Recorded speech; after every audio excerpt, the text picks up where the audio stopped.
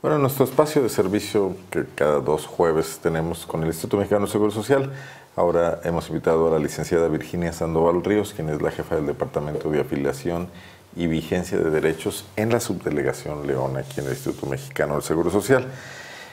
Hay un nuevo programa, Crezcamos Juntos, Afiliate. ¿Cómo está? Bienvenida y gracias por estar aquí. Muchas gracias, muchas gracias Arnaldo. Sí, bueno, pues Crezcamos Juntos es una iniciativa del gobierno federal eh, para impulsar la economía, básicamente, de las familias mexicanas y lograr el desarrollo al integrarlos a una formalidad.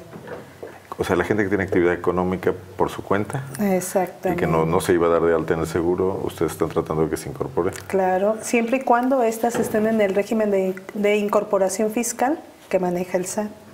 Al momento de ellas estar dentro de ese régimen, pues obviamente gracias al apoyo hay grandes apoyos económicos y le van a permitir inscribirse a los servicios médicos, de igual forma ir cotizando ante el Infonavit.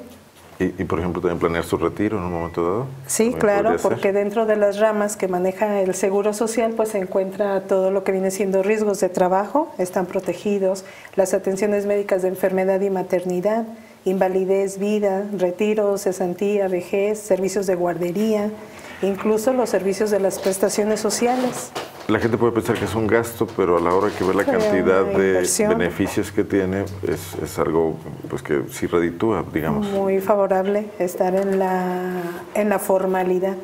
O sea, y entonces la base de datos se las provee SAT, el SAT. hasta que la gente se da de alta en el ¿Pueden estar o no en el IMSS aunque se dan de alta en el SAT? ¿Es voluntario si mm, quieren? Sí, sí pueden, pero deben de aprovechar este apoyo gubernamental. La verdad es que es muy fácil para presentarse a la adhesión, eh, incluso visitando nuestra página, siempre y cuando ellos cuenten con, el con la FIEL, porque tienen que estar incorporados al régimen. La firma electrónica. Ajá, con su firma electrónica accesan al portal y registren su solicitud. O bien, si no lo pueden hacer mediante el portal, acuden directamente a la subdelegación presentándonos su información personal, como vienen siendo nombre, su RFC, su CURP, la actividad que desarrollan, este, su número de registro patronal, su tarjeta de identificación patronal no son muchos muy requisitos. Sencillo. No, no, no. ¿Se dan de alta y, dan de alta, por ejemplo, a su familia, sus derechohabientes? Sí, sí, sí, sí. Para sus familiares, pues sí deben de solicitar este. Primero ingresan a la página y vemos, en conjunto con el SAT,